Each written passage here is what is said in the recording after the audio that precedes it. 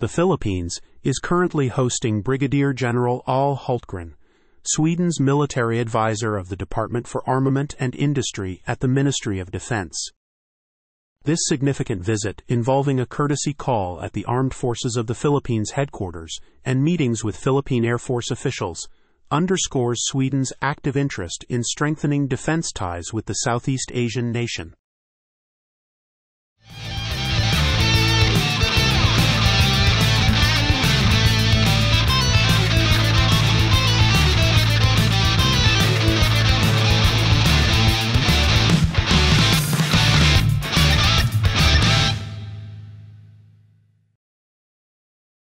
General Hultgren's visit is widely seen as part of Sweden's strategic push to promote its JAS 39EF Gripen fighter jets to the Philippine Air Force. The Department of National Defense of the Philippines has prioritized the multi-role fighter acquisition project, aiming to finalize the procurement process within the next few months. This acquisition is crucial for enhancing the PAF's capabilities, ensuring air superiority, and bolstering national defense. Sweden's Saab, the manufacturer of the Gripen, faces stiff competition from several global defense giants. The United States Lockheed Martin, known for its advanced F-16 and F-35 fighters, is a formidable contender. South Korea's Korea Aerospace Industries, KAI, is pitching its FA-50, a model already serving in the PAF's fleet. Additionally, India's Hindustan Aeronautics Limited, HAL, is offering its Tejas fighter, and there are potential bids from France's Dassault for the Rafale F-4 and the consortium behind the Eurofighter Typhoon.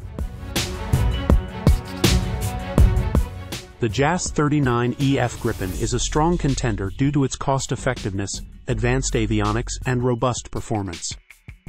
It is designed for versatility and can perform air defense, interception, and reconnaissance missions. Its suitability for the diverse operational needs of the PAF, along with the comprehensive support and training packages offered by Saab, makes it an attractive option. General Hultgren's visit signifies more than just a sales pitch. It highlights the deepening defense relationship between Sweden and the Philippines. Enhanced cooperation could lead to technology transfers, joint training exercises, and greater interoperability between the two nations' armed forces.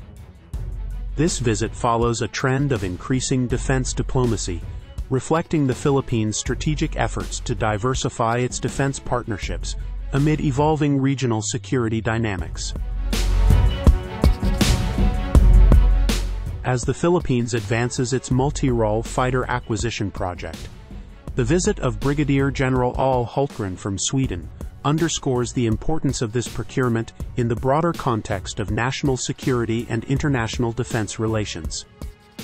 The decision-making process in the coming months will not only determine the future capabilities of the PAF, but also shape the defense landscape in the region. The competition is fierce and the stakes are high. Whether the JAS 39EF Gripen will emerge victorious remains to be seen, but Sweden's proactive engagement and strong diplomatic overtures could play a crucial role in influencing the final decision. Thanks for joining us as we explored the latest developments in the Philippines' defense strategy and Sweden's strategic visit.